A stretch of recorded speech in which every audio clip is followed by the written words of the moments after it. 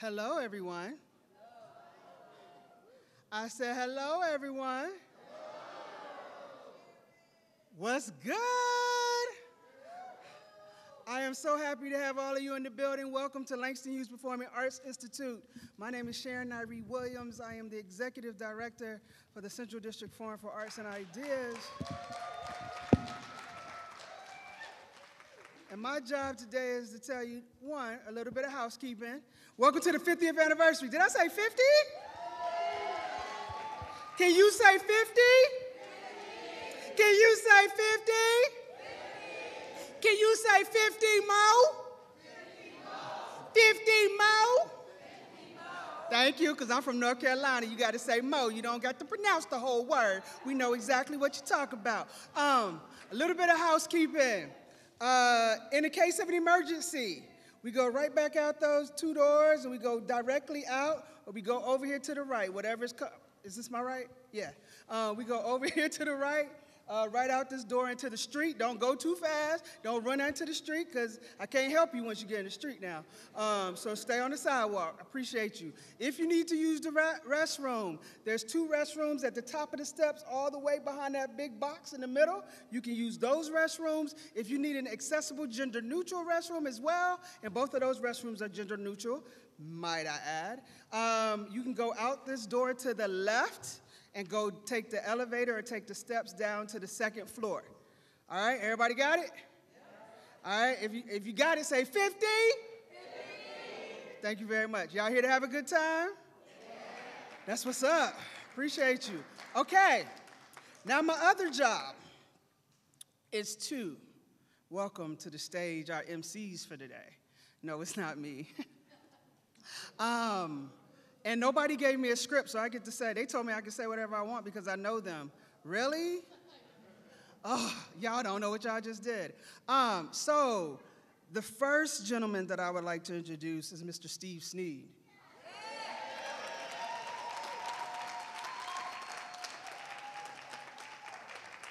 And y'all already know who Steve Sneed is. Well, let me tell ah! and he's here. Uh, he's a legend. Uh, he's one of the reasons why we're all here. Uh, he helped build this foundation for us to be here for 50 years.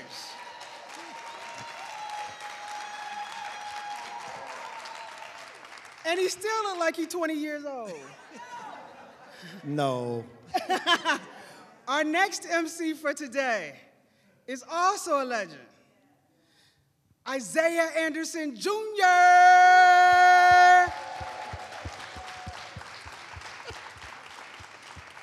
now, this young man didn't wash my car today because I didn't have on a skirt. I didn't know what to do. But the summer musical? What? I said, how many of y'all grew up with the summer musical? Yeah. How many of your careers started in the summer musical? How many of your careers started on this stage? Yes. Thanks to Steve Sneed, Isiah Anderson Jr., and millions and millions more. We out here to kick it, y'all. I'm giving, I'm handing it over because I'm talking too much. Steve Sneed, Isiah Anderson Jr., happy 50th! 50! Yeah, yeah. 50. Uh, Boy, there's a lot of energy in the room. A lot of energy. Can y'all give it up one more time for Miss Sharon Nyree yes. Williams? A boss in her own right.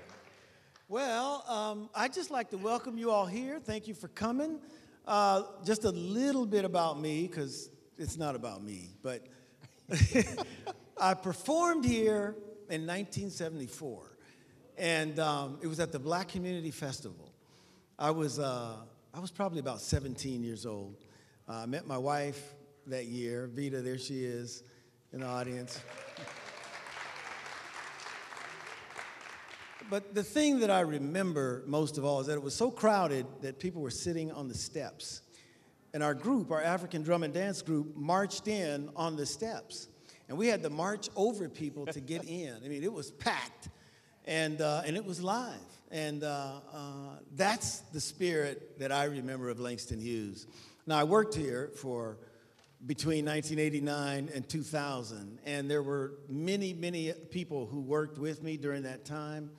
It was really a challenging time, but it was great fun. We did a lot of things. We put this thing up, and it makes me think of Mark Smith. Mark Smith. Yes. Single-handedly, right? Yes.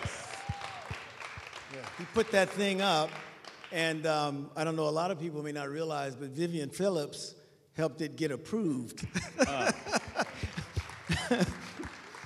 Because we, we felt we could get, um, instead of getting permission, we got forgiveness.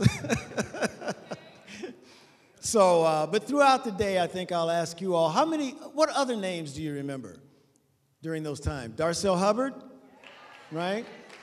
Yeah. Yeah, many, many others. Umeme. Umeme Pesa, yeah. Mhm. Bobby Wooten, yes, yeah. Is in the house, Bobby Wooten, yeah. Living black ain't easy, right? Yeah. right. Yes.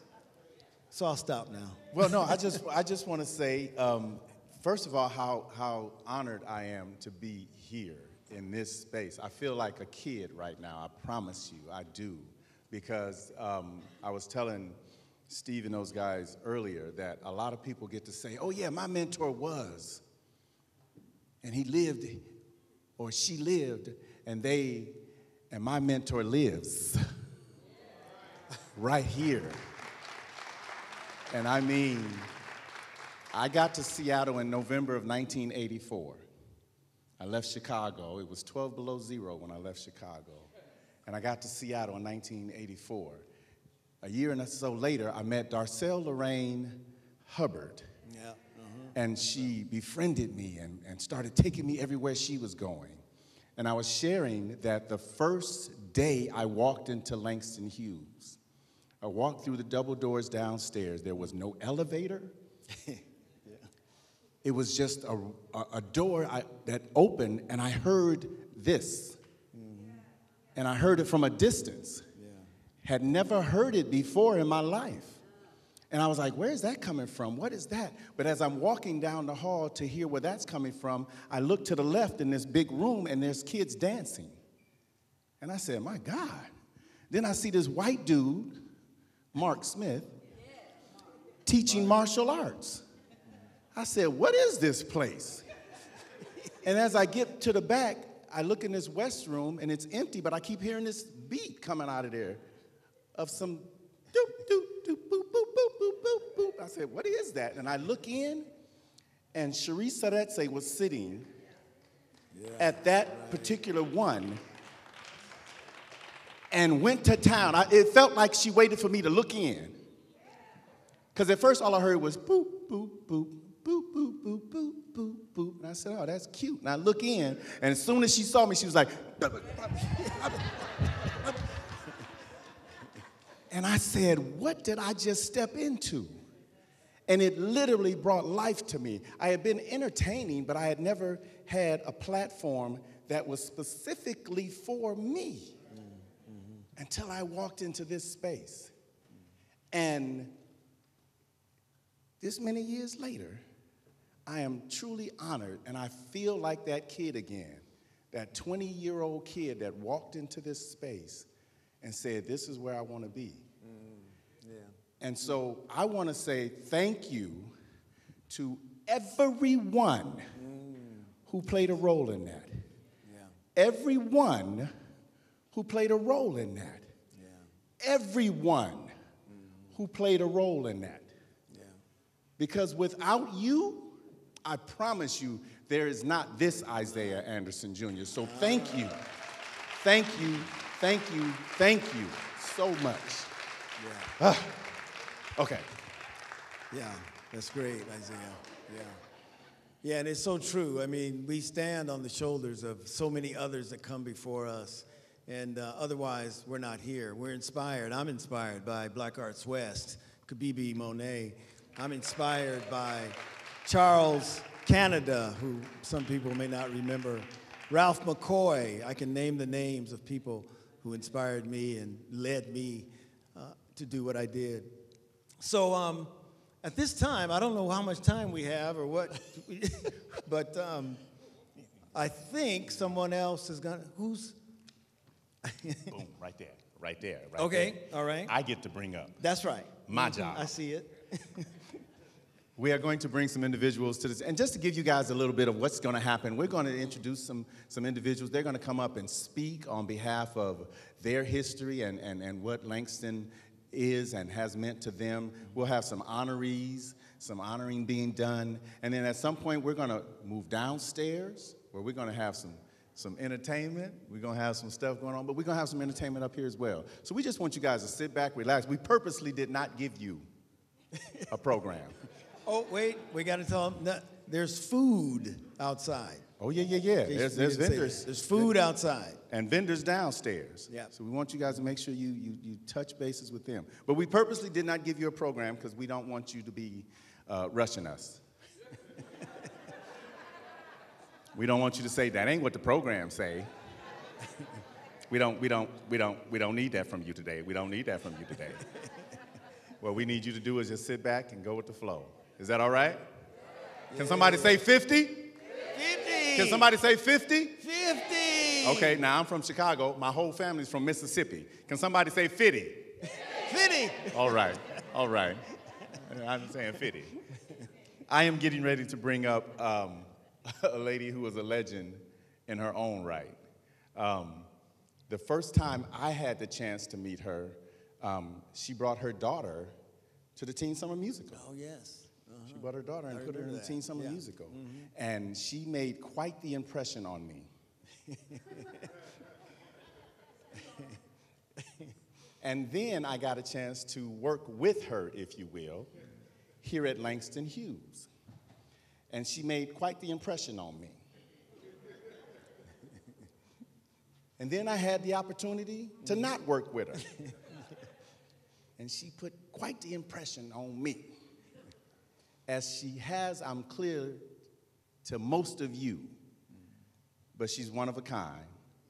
So Yes, please put your hands together for the acting director of the Office of Arts and Culture, the one and only Royal Alley Barnes, y'all. Put your hands together right now.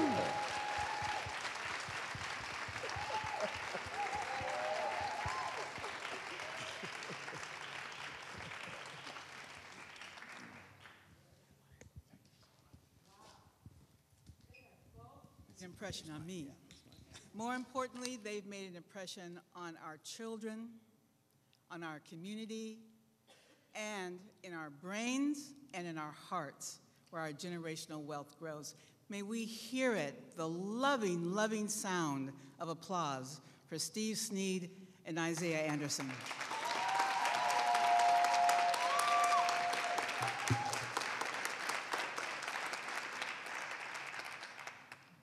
If I might, we acknowledge that we are on the indigenous land, the traditional territories of the Coast Salish people. This acknowledgement does not take the place of authentic relationships with indigenous communities, but serves as a first step in honoring the land we are on. And we as a people, as an African diaspora, we know about honoring the land and honoring our communities and our culture. That's why we're here today. Let's hear it. I think it was, was it Sharon Williams, CD Forum, Executive Director? What did she say? Did she say 50 more? Or did she say 50 more? And that's what we're trying to have here, and that's what we're doing right now. And so we're here today really in response to Black Brilliance, our black and brown diaspora. And you know, we all come and we celebrate like this, but we also have to remember that we want to thank Sandra Boyce Dupree, who's our facility manager,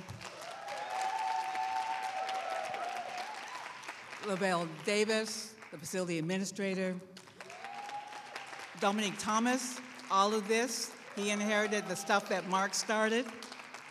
And then Tim Lennon, who's the current and exciting executive director of Langston, Tim,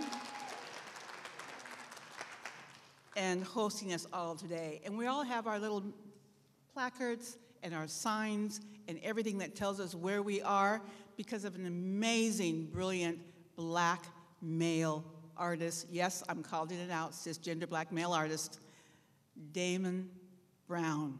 Brilliant. So, as you all know, it's the individual artists who are really the core of all of this, of the arts and the culture that we hold so dear. It's the core. But it is the community, and you're going to hear that word over and over and over. It's the community, the people who make it happen, who bring life as a collective group of humans seeking to gather, seeking co- social cohesion, seeking and making generational wealth. This is a wealth where we're sitting here today. Years ago, our community needed this place, a place to gather, to survive, and thrive. As you've heard from both Isiah and, Isiah and from Steve, tough times. Those were tough times. It's hard today, it was hard then.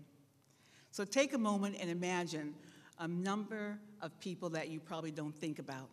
Walter H. Hundley. Walter H. Hundley, I'm gonna say that name one more time Walter H. Hundley, iconic, legendary, visionary.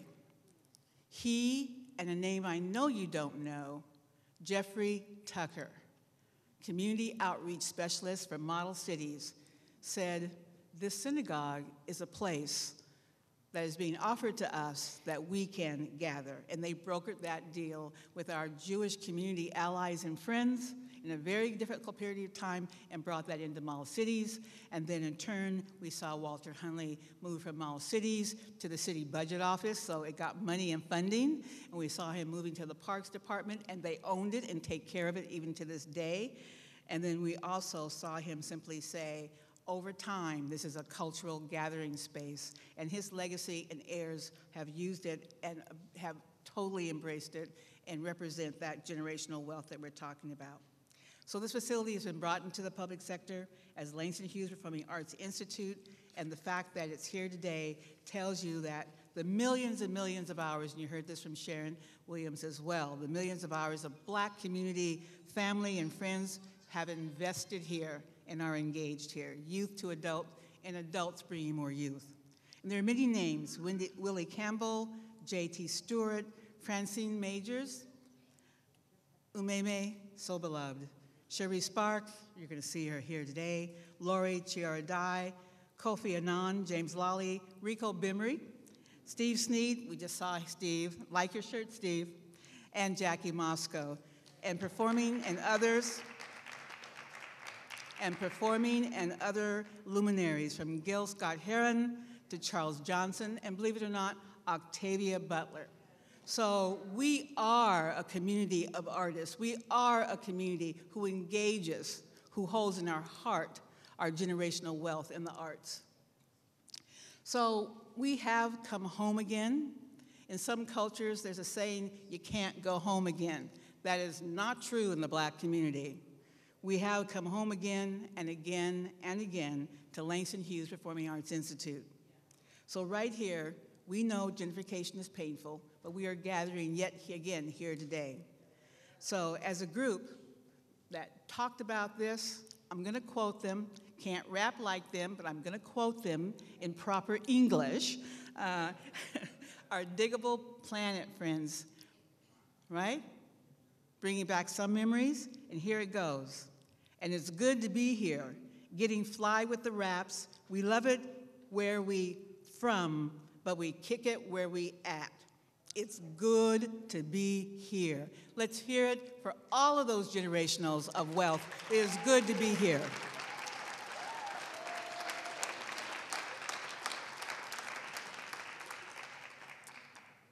So I would like to take this opportunity, and it's my privilege, to introduce to you someone who you have known, but you didn't know you knew her because she was out there dancing in the streets, literally, before she was the chief of staff for Mayor Bruce Harrell's office. Yes, 1975, I was an adult in those days, and it was called Keep On Truckin'. Remember Keep On Truckin'? Let's hear for Keep On Truckin'. And so it's my pleasure to introduce someone who was a central participant and maker of that group, that dance group, and who has not stopped trucking since, Chief of Staff for Mayor Bruce Harrell's office in Seattle, for our community, for our city, COS Jennifer Samuels. COS.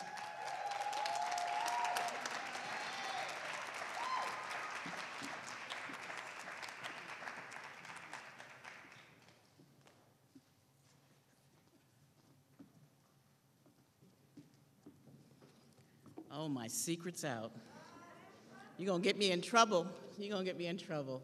Director Royal Alley Barnes, thank you. Thank you.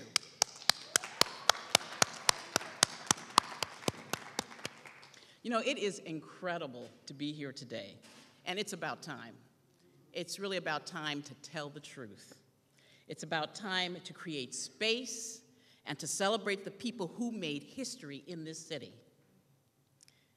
We made history in this city, we made history in this state, and I dare say, I, I think we made history nationally. And the reason why I say that, there is a legacy that's here at the Langston Hughes Performing Arts Institute.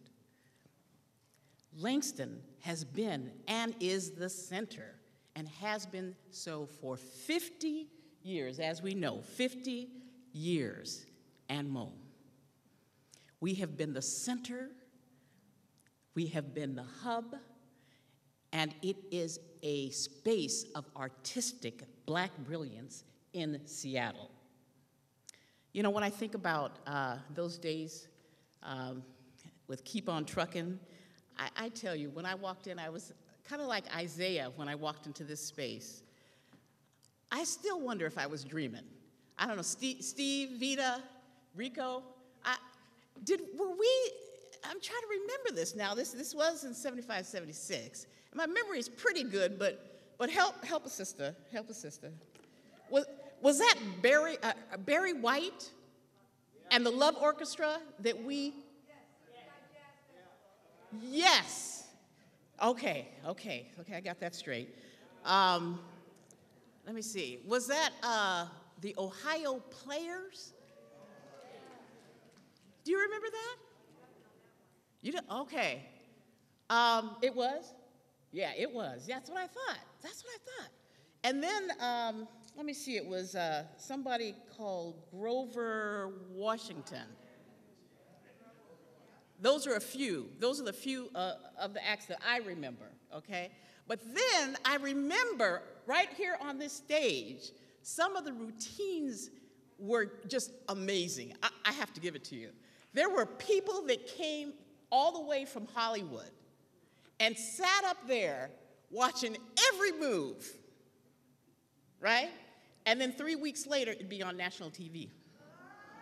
I'm just saying something. I, that's why I say I think we were, we were kind of national. We had a reputation here in Seattle. That was in 75, 76. Yeah. But I tell you, Langston has history.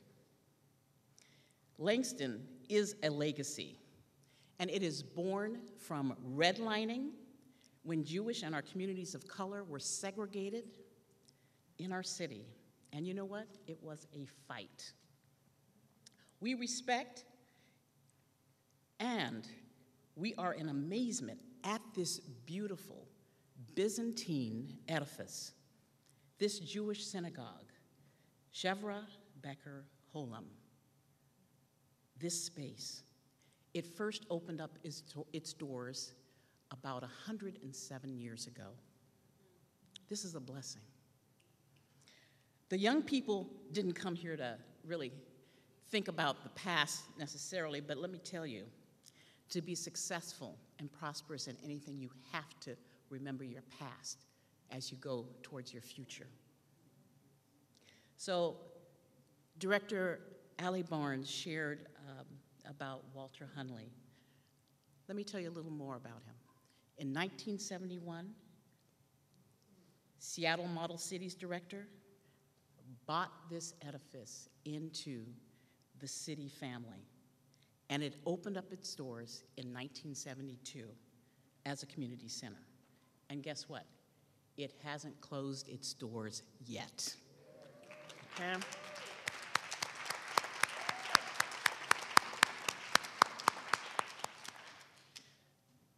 I want to celebrate J.T. Stewart, who gave us the name Langston Hughes and all of the evolutions of naming it. It took us to where we are today, the Langston Hughes Performing Arts Institute. Along that way, the stories have been vibrant and studded with luminaries like Gil Scott Heron, Joe Brazil, and Nana Kibibi.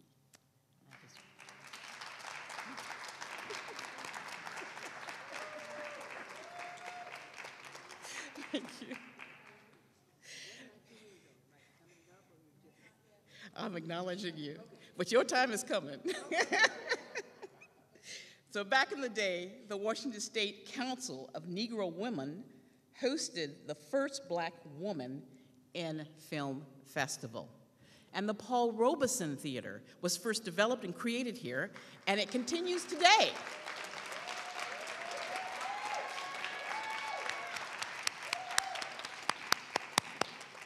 Tell you, I, I was at the Teen Summer Musical.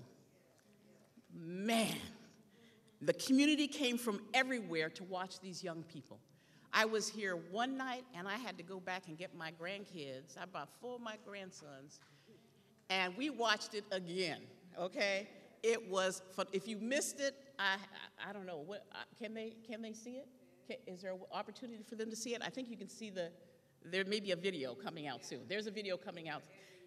You're editing the film now. Thank you. Thank you. It was phenomenal. So you want to watch that.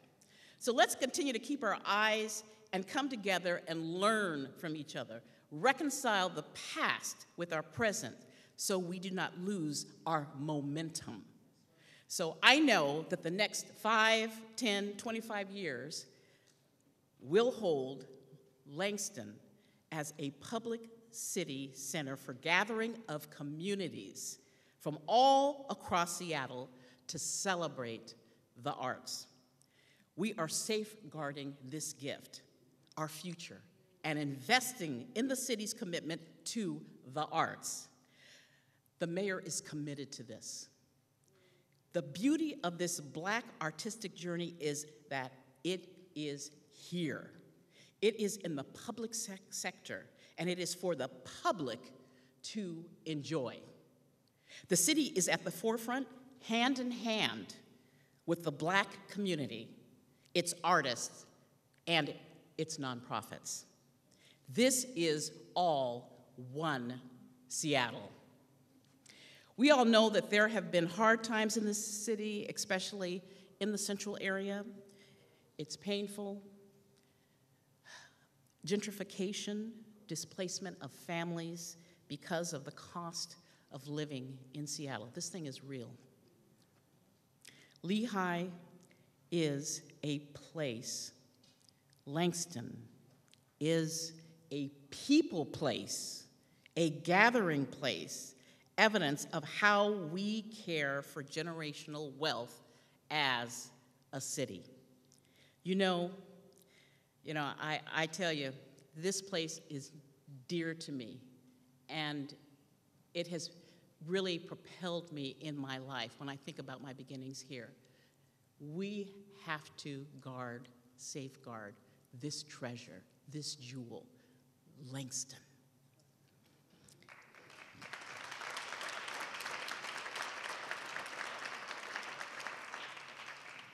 I said all this to say celebrate today. Keep your faith, keep your families, your friends, and your communities strong. Have fun today. Love y'all.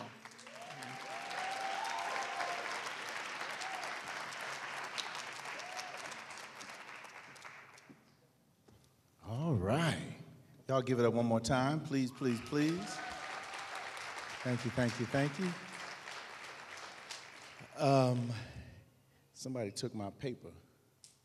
Was that you? Folded in half? You sure? Was it Barnes? Some, somebody took something. Oh, okay, thank you.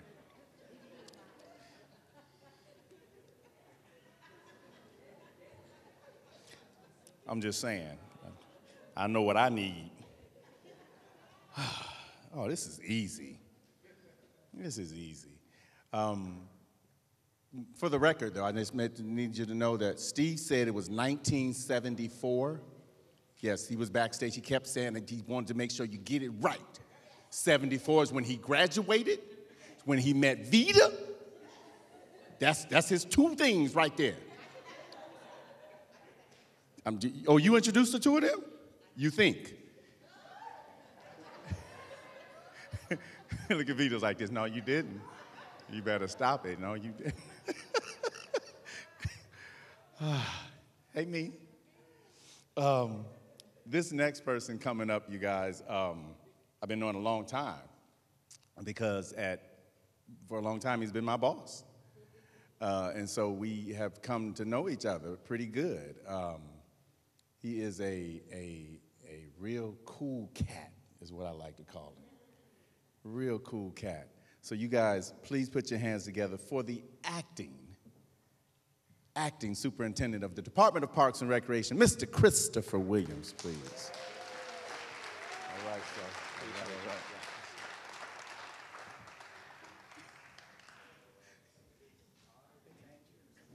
Congrat- Uh-oh, can you hear me now? Okay, that's better. I better come a little closer, huh? All right, well, it's so great to see so many uh, people who got their start in the city right here at Langston Hughes and people who've worked here over the years. Isiah Anderson, remind Isiah to tell you the story about pigeons and eagles. Eagles. Isiah, are you back there? All right, bro. You remember that story about the pigeons and the eagles? Eagles who thought they were chickens? Yeah, yeah, that one. That one. Okay. That's it. One day, ask him to tell you that story because that's an example of a remarkable uh, story that's been shared with probably generations of young people. And I was so struck by it. I sat in a seat right over here and heard this story about if you want to have aspirations in life, to do something big, then you have to surround yourself with people who are aspiring to do big things. And as I thought about that, and I probably heard the story maybe 10 years ago from Isiah, but it just made me think about how many times a story like that was told to a group of young people here in this theater.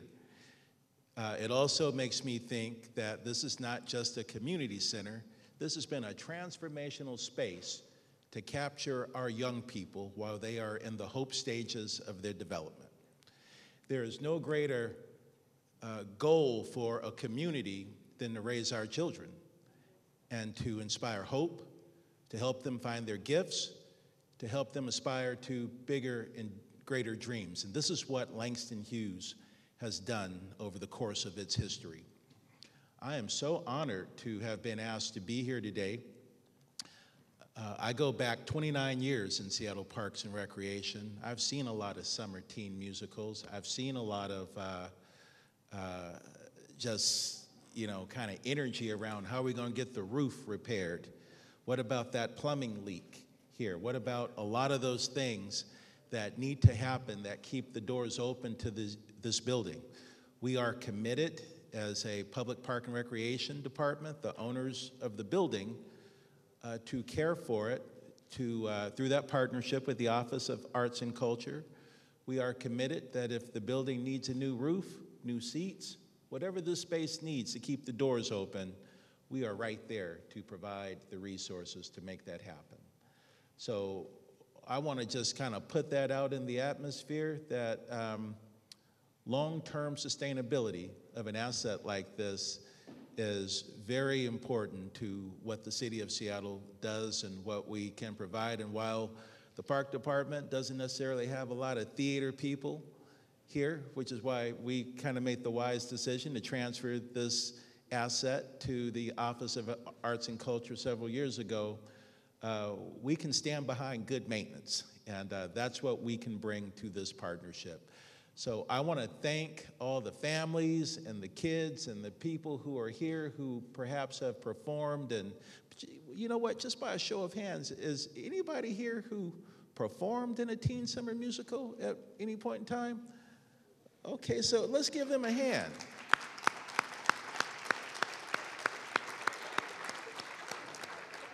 All right.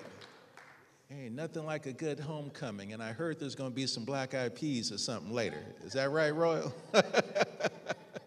anyway, thank you all so much. We appreciate the partnership, and thank you everyone for being here. Thank you.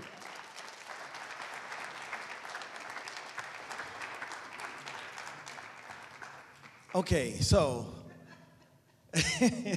this next individual I'm going to introduce is someone that I first met on the radio. It was KYAC. Who remembers KYAC? oh, boy. And I felt like I knew her because I heard her voice all the time on the radio. And then I got the opportunity, really the privilege, to work with her in the trenches here at Langston and at the Madrona Community Center and um, just for the past, I don't know, mm, years. so, but it is my, pri- my privilege to introduce Vivian Phillips.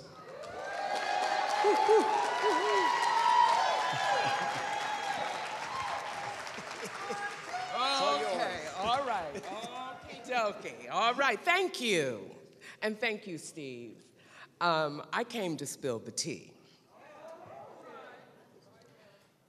So, no, not really. Um, I'm really honored to participate today and really grateful that Langston and Langston Hughes Performing Arts Institute is so vibrant 50 years after it was started. What an incredible feat. And I have to say that the first time I ever walked into this building, I was actually a teenager and I came to the Bikur Cholim Synagogue for a bar mitzvah because I grew up in this neighborhood and grew up with Jewish families and I got a chance to come in here. This place, for me, has been the beacon of my entire career. Now, Steve roped me into working with him back in the 80s with the Madrona Youth Theater in the basement of the Madrona Presbyterian Church. Y'all remember that place? Talk about leaks. That was a wet floor place all the time. And I didn't really want to do it. You know, I had left my career in radio, and, or I should say, I took a hiatus and um, started working in public relations and then found this new energy here at Langston Hughes to work with uh, Steve Sneed. Fun fact, um, he mentioned that one of the things, yeah, you know, politics is all about asking for forgiveness, not permission. So, so I could be a politician, you all know that. But um, when we found out that there was like six, seven hundred thousand dollars in the general fund at the city of Seattle that had been granted by the, the uh, United States Parks Service to Langston and it had never been used, you know we trotted right on up in that office and said, we need that money. But we did, yes, I'll wait. Clap. But we did secure over a million dollars, and in 1990, 1991, a million dollars to go into a space like this was a lot of money.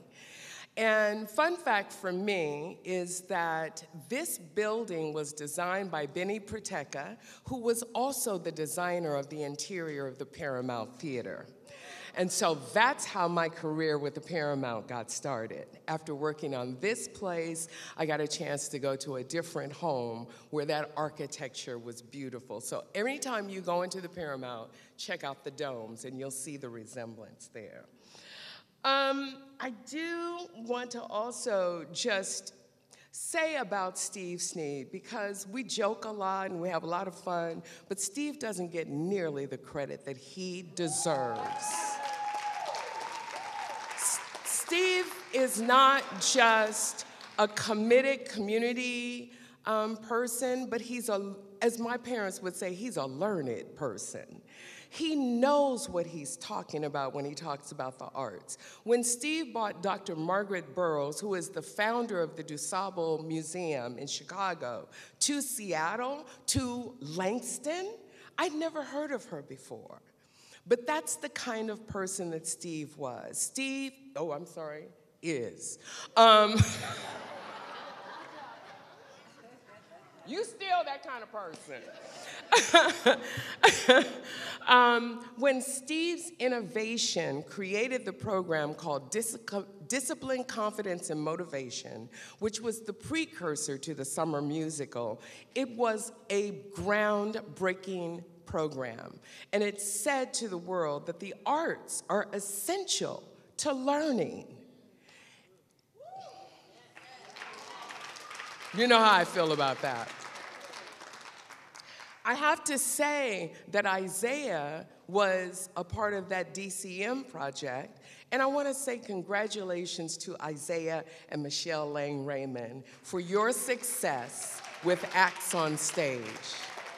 It all started here.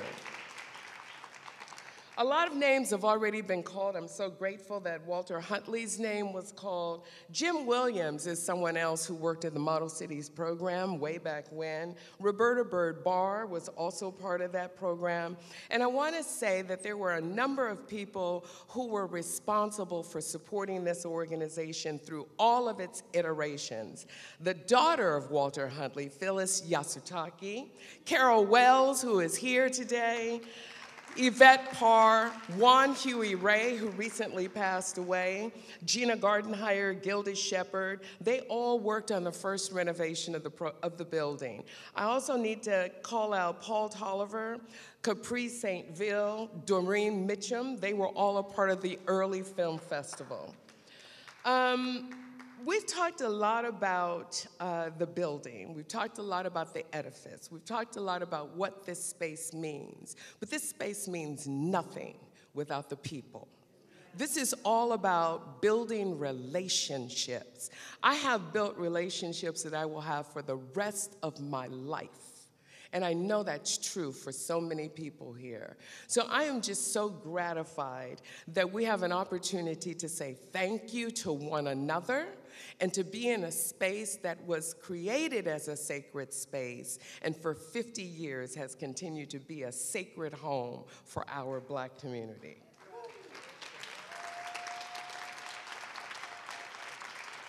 So, with that, we want to recognize a few people.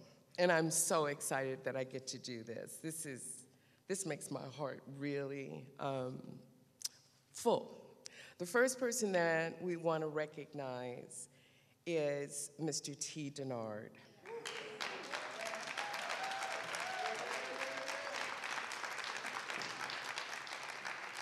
Tee is not here today, but this letter reads on our 50th anniversary, it is a privilege to recognize you for your contribution to the legacy of Black brilliance, Black artistic brilliance at Langston Hughes Performing Arts Institute through Black Arts West, founded by Douglas Q. Barnett. You have been a feature in Seattle Arts as an actor, director, and as a former artistic director of Black Arts West in the 1970s, the first black theater company in the city of Seattle.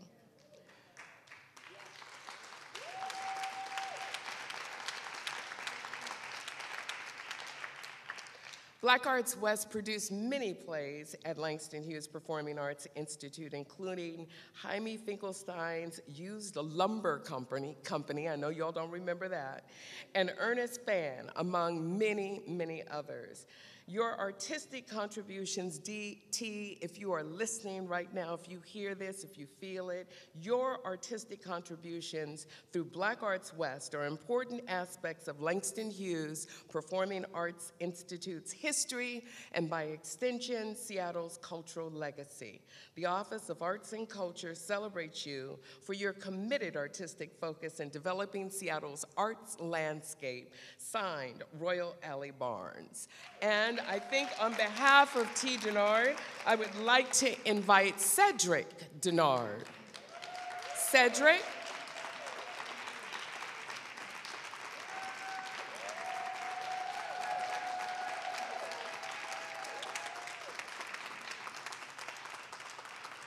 Would you like to say a couple of words? A couple of words. That means said a 50 at the couple. most. Okay, Dad, she said 50. So, um, f- first of all, my name is Cedric Denard. Cedric, not Cedric. Cedric. Yep, yep, Cedric. Uh-huh. And um, so I'm real honored to be um, accepting this on behalf of my father, Tee Denard. Um, and he, he sent me a, um, a book to read to you guys, but I'm only going to read a paragraph. All right? No, I'm lying. I'm, I'm making jokes. But um, here it is. And, and also, he couldn't be here on behalf of, um, he has medical issues, and he was still trying to be here, even though it wasn't possible, but he wanted to be here. But um, I took his place. But he says, um, I just want to thank Royal Alley Barnes and Sandra Bowles Dupreez, who was so helpful getting me all the information about today's event through my medical issue. issue. I'd like to acknowledge four real honorees for making Black Arts West possible for possible and a success. First and foremost is founder Mr. Douglas Q. Barnett, artistic director, Buddy, um, Buddy Butler, production manager, Rafiq Bey, and Umami, Umami, did I say it right? Oops, what is it? Oop, oop, oops, He said don't get it wrong because I was going to get it. Um, okay, she said it. That's what she said. Who was an actor and musician, all whom are, are no longer with us, but I'm sure they're in a big theater production playing up there somewhere on those golden streets. Last but not least, I'd like to thank Douglas Johnson for allowing me to be the artistic director of his administration of Black Arts West. And the baton was passed to Kibibi Monie, right? Monet, and she, and she kept the spirit of BE, BAW alive with New Black Arts West. So on behalf of my father, thank you for this.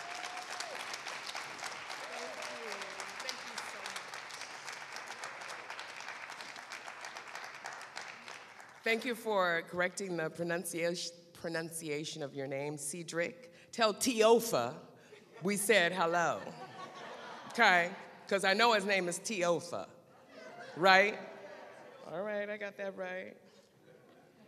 Okay, I'm not gonna put that in my pocket. Okay. Um, let's see. Oh, this one really touches my heart. and I have to read it. Dear Bobby Wooten,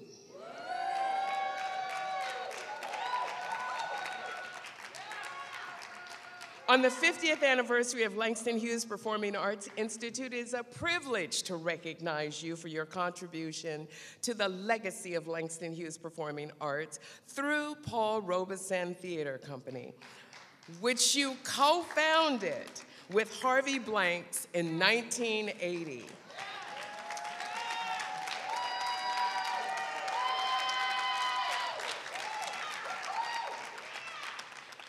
In Harvey Blank's memory, the community celebrates his contributions as well.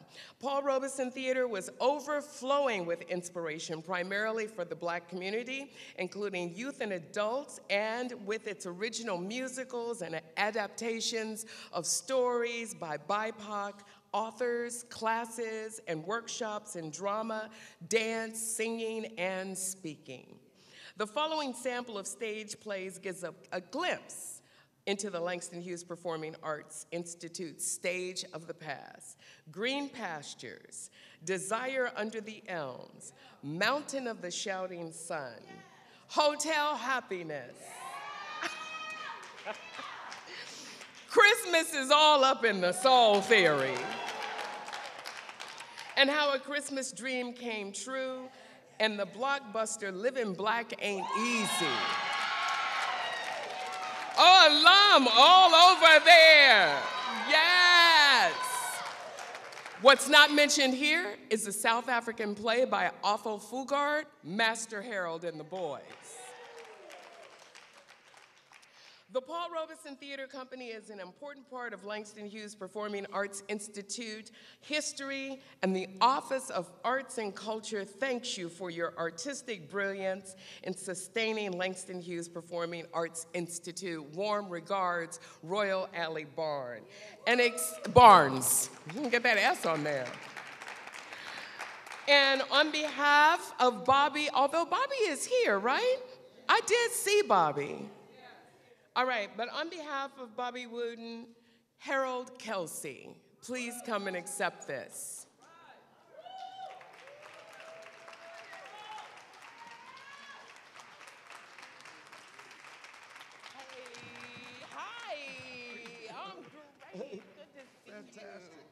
It is, it is my pleasure and honor. Mr. Bobby Wooten,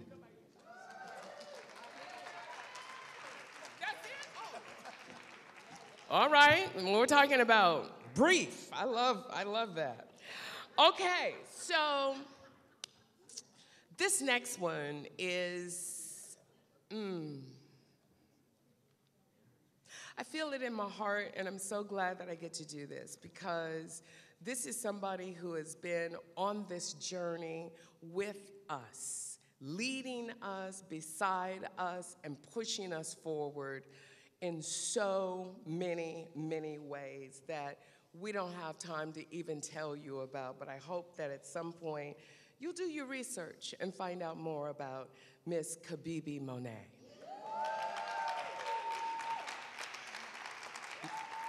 Not yet. Because what I want to say first is it is a privilege to recognize you for your artistic contributions to the legacy of Langston Hughes Performing Arts Institute on its 50th anniversary. In 1993, you founded the New Black Arts West Theater, considered the oldest African American community based theater in the Pacific Northwest. You were an actress and instructor with the original Black Arts West Theater from 1974 to 1980. You were a key champion in asking the city to recognize the founder of Black Arts West Theater, Douglas Q. Barnett, and his numerous contributions by naming a city block in his honor, which is at 34th and Union.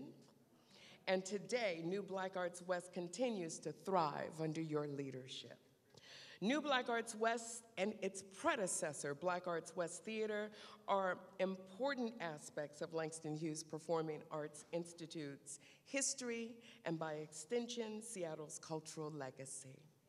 The Office of Arts and Culture celebrates you for your brilliance and decades of committed service to developing Seattle's art landscape. Signed, Royal Alley Barnes. Thank you, Kibibi.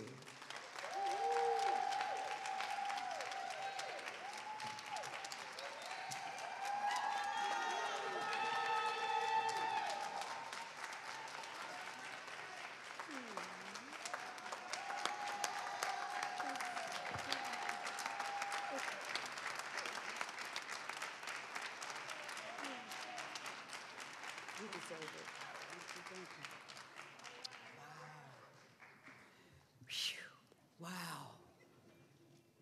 Wow. That's all I can say is wow. I have loved you all all my life, and I didn't know if you really cared about me. No, really. I mean, because a lot of times, you know, people dedicate their lives to people, and they get used to it, or or they don't really recognize it because they feel that that is your place to be, and it is my place to be. My place was to follow Mr. Barnett's lead and keep black art in our community. Because, yeah. Because believe it or not, melanated people love the arts, okay? We use the arts to learn and grow and build and thrive. And it was my duty from God and it was my duty when I asked Doug if he wouldn't mind me bringing Black Arts West back. And he said, Kibibi, you sure you want to do that? I mean, people, you know, they weren't coming to see us back when, you know, when it went down. I said, that was just a hiatus. That was just for a moment. They were just waiting for the next person, and I guess I've been the one that's selected to bring it back. And that's what I've been doing for almost 30 years now, literally, almost 30 years. New Black Arts West Theater. taking, thank you, taking students from Garfield to uh, Ghana, West Africa to perform or to start a study abroad pen pal um, relationship with the Twedi Ase Primary School in Ghana. From performing at the National Black Theater Festival in North Carolina um, to everything that we've been doing, including this was our first home. I'm talking about new Black Arts West Theater, not the original, but new Black Arts West Theater did our first production right here on this stage. And uh, yeah, yeah, please give it up. Give it up. Without, without Langston Hughes, the arts, black arts would have disappeared. It would have literally disappeared because our, our clubs and our you know, places where we did music were folding up. And if it had not, y'all, on the real side, been for Langston Hughes, we would not be. There would be no new Black Arts West Theater. There'd be no um, Black Dot and, and the theater companies like the Sankofa Theater. That's a new black theater, y'all. We got to pay attention to the new black theaters. And we, as theater people, need to unite. The best way we're going to get the funding for what we're trying to get our productions and, and a building and keeping our building intact, we have got to unite as a unit so that when we go for the funding, when we're, we're trying to get uh, new lights or, or, or having the funding to take our children out of the country so they can learn different skills, so they can be international. That's what New Black Arts West Theater has been about. We've been offering summer youth education programs for years since 20, since 2010 when the city decided we no longer needed summer school. And instead of doing our music, drama, and dance classes, I went to the teachers that take their summers off, that appreciate having to break from kids, and said, Look, I'm going to go ask the community if they will fund. And I went to the community. I didn't go to the 4Culture, I didn't go to Art, Artist Trust. I went to, the, to Tabor 100 for one organization that backed the money so I could pay the teachers for free classes for six weeks to them academic classes in math and science and literary arts. We discontinued our, you know, our artistic classes because we knew our children were behind on so many things and we need that help in the summer. So that's what we've been doing. We've been serving our community ever since Mr. Barnett and God told me to bring Black Arts West Theater back. That's what our motive has been. That's what our hearts have been. When I asked the city to recognize Mr. Barnett. That wasn't out of anything but love for him to give me the honor to keep Black Theater going. I love you all so much. Thank you for appreciating what I've done. Um, it means the world. God bless you, all of you. Thank you.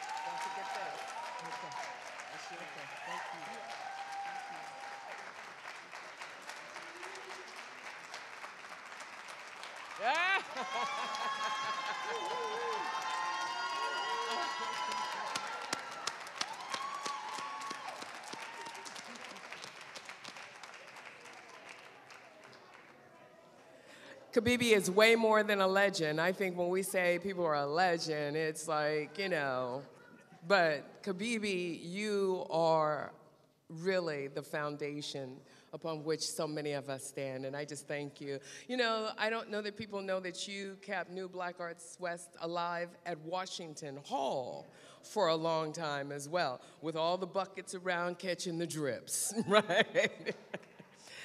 Oh, thank you so much. We so appreciate you. You know, I'm, I'm very serious when I say that this has been a place, it continues to be a place where relationships are built. And imagine what Steve and I, and probably Isiah too, feel like when you see people that you met when they were about this tall coming up on you talking about, talking about, hey, I'm like, who are you? Back up because you can't possibly be that grown.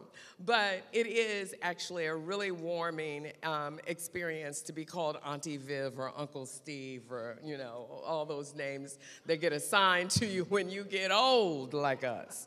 So one of those individuals was popping and locking and twirling and twisting and flipping and doing all kinds of things that we all wish we had the muscles to do way back in the day. And she is still doing it, and we are so proud to have with us today Miss Maxie Jamal. What?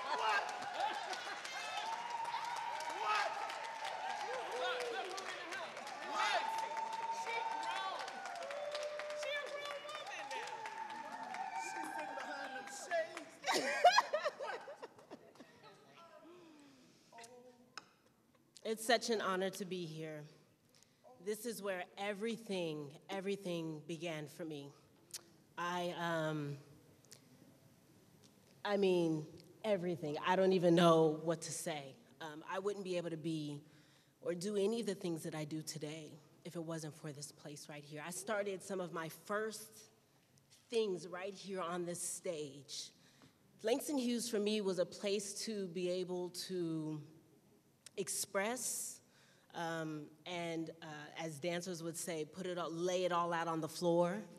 You know, this was the place where, um, especially in the 80s and 90s, when uh, it was a tough place to be. You know, um, I was able to get away, and I was able to um, come here and find those artistic abilities and um, I mean, every single, everything, I was able to find it right here in this place. I had amazing teachers, I had amazing people that were bringing us up and showing us the way, teaching us how to find those different things about ourselves, teaching us how to um, put these things on the stages, put these things in, in, in any form of art that we were discovering about ourselves. We, we were able to um, find all of that right here in this place. And uh, since then, I've been able to travel the world.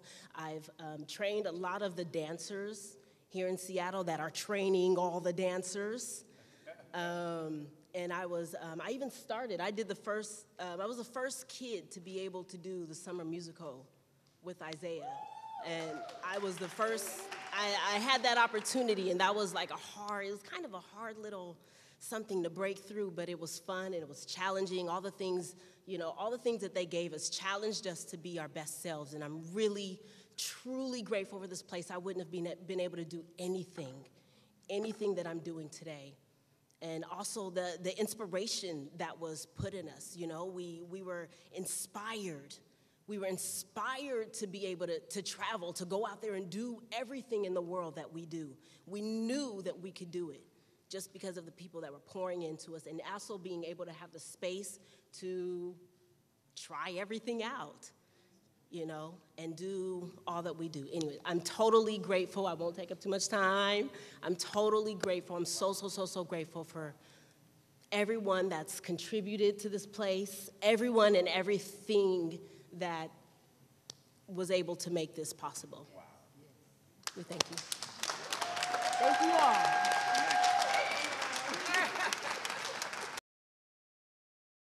Before this was Langston Hughes Cultural Arts Center, it was a Jewish synagogue, a place of spiritual gathering for the Jewish community. So we have Albert Israel here from the Washington State Jewish Society to speak with us. All right. Well, thank you, thank you so much. Thank you to all of you for, for having us here. And, and I hope you, you, uh, I know I feel the, the, the history here in the teens and the 20s and the 30s, 40s, 50s, 60s, when it was a synagogue and countless weddings and countless bar mitzvahs. So many happy occasions took place here. And now that legacy continues in the 70s, 80s, 90s to today with you all, with the performing arts and the music and the drama. And it just, uh, the, the lesson I've learned today is that the, the Jewish community and the black community have so much history in common. And we need to move forward together. And maybe the next event can be a music festival together. That would be, boy, that would be fabulous. And maybe it can be here. So what, what a wonderful, what a wonderful bond that would create. So the, the, the, the Jewish community thanks you all for including us today. Uh, we hope to be part of many other programs in the future. We thank you so much. All right. Wow. Um, we are going to simply continue with the program. Thank you. Thank you so much.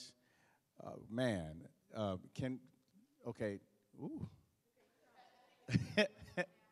um, huh. She came up to do some honorees, and I don't think she got the right recognition. Um, can you guys please put your hands together for Miss Vivian Phillips?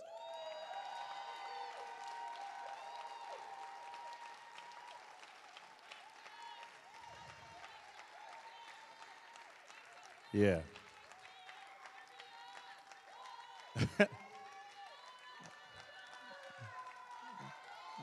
yeah.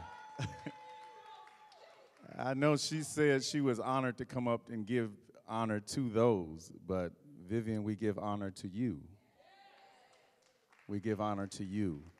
And it may sometimes go unsaid, um, but it's never lost. Never lost. Never. Um, wow. Um, so I don't like to get emotional in public. I'm lying, I'm lying, I'm lying. Listen, I, I don't really care. I don't really care. Um, again, being here is just awesome for me. Um, when young Maxie Jamal came on the stage, I said, my God, one of my kids. Like what Vivian said, those, those kids walk up to you and they still call you Mr. Isiah, and you in a nightclub, get away from me! Calling me Mr. Isiah in the nightclub, and you 40 years old. What is wrong with you? I am now Isiah. It's all right. Jesus. Eight nine, nine, eight, nine, ten years old, her and my son, Marcus Anderson, called themselves little boyfriend girlfriend. called little boyfriend girlfriend. I, we had a big event, and I said, Marcus, where's Maxie? 10 years old. My son said, I don't know. I dumped her. I lost my mind. Do you hear me? I said, little boy, you don't dump nothing but garbage. You hear me? Maxie is a young black girl, and you better give her all the respect. Go find her right now. And he brought her back with tears in his eyes, apologizing because he knew I had a belt on that could soon be off. You hear me? But what I learned, what we learned, Steve and, and myself and Michelle and all of us who work with young people, what we learn is that um, we never stop learning. As long as we are in their presence, we never stop learning. I want to say to Cedric, uh, you called me, and I was out of town. And I was at the airport, and I said, I'll call him when I get back home. I got back home Wednesday night, and I missed your call. Cedric, you are my brother, and your father is a mentor to me as well. And so he has blessed Acts on Stage, and he continues to bless us. So thank you, my brother, and I will definitely, definitely take you to dinner. You eat McDonald's? Extra cheese. I pray. I, pr- I promise. Um, I'd like. like to bring to the stage right now um, two individuals who are moving things forward, as everybody has spoken about. Um, they are the executive director uh, of the Langston uh, Foundation and the executive director of the CD Forum. Please put your hands together for Mr. Tim Lennon and Miss Sharon Nyree Williams. I'm gonna get that middle name in there. You know how I do. Emmy Award winning Sharon Nyree Williams.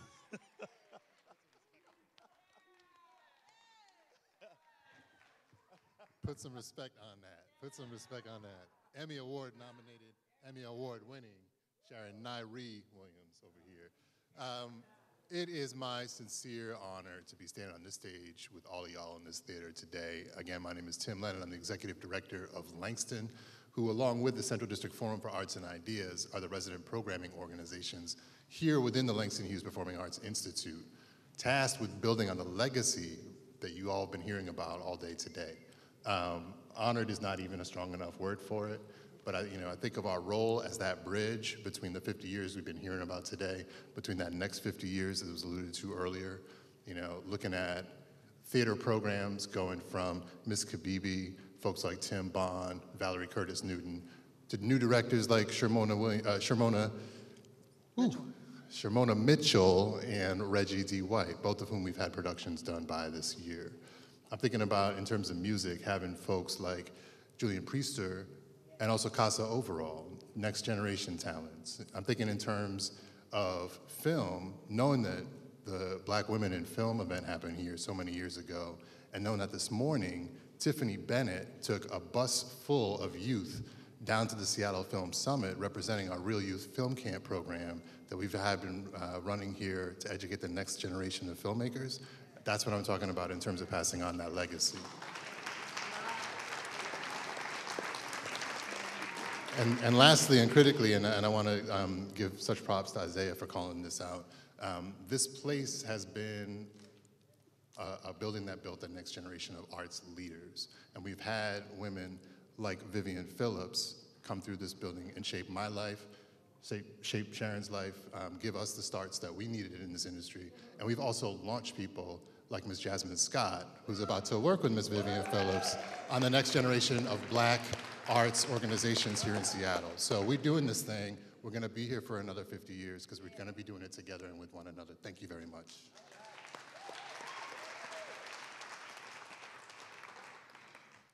Um,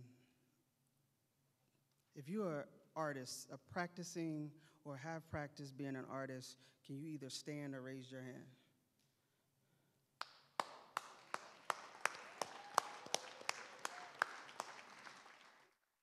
If you have worked behind the scenes, doing lights, doing music, um, being a stage manager, any of those production jobs, costumes, raise your hand.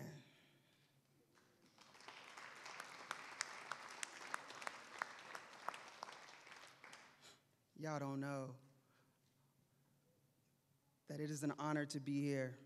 And there is no Tim and Sharon Nyree Williams and without all of you, because there is no one to lead if we don't have black leaders to help lead you.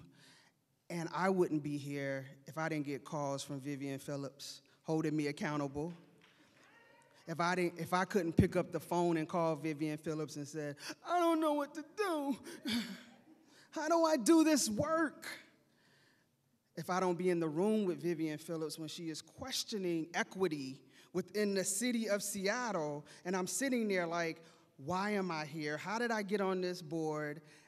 And then I know that when I walk in rooms and I'm the only black person there, I can raise my hand and say, so what about equity when it comes to the search for the Cornish College of the Arts president? And we now have the new black president of Cornish College of the Arts.